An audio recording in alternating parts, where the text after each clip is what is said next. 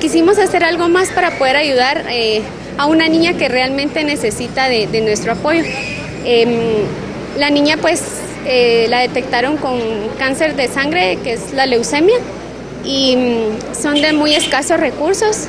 Entonces nosotros tomamos la iniciativa de poder hacer esta colecta, eh, concientizar un poco a la gente de lo que es esta enfermedad que es realmente eh, muy difícil de pasar y aparte de que es muy difícil, es un poco costosa. Entonces ella es una niña de 7 años, eh, su nombre es Vilma Morales, tiene 10 hermanitos, em, tienen realmente problemas económicos bastante grandes. Eh, el señor era agricultor, por no tener los recursos, pues vendió sus herramientas, sus bicicletas, de hecho hasta la ropa de sus propios hijos para poder cubrir los gastos que la niña necesitaba en transporte, en medicinas y en todo lo que ella requiere para poder salir adelante en esta enfermedad. Entonces ese es el motivo de esta, de esta actividad y, pues hacerle un llamado al pueblo de San Marcos para que, para que pueda ayudarnos, pueda colaborar con nosotros.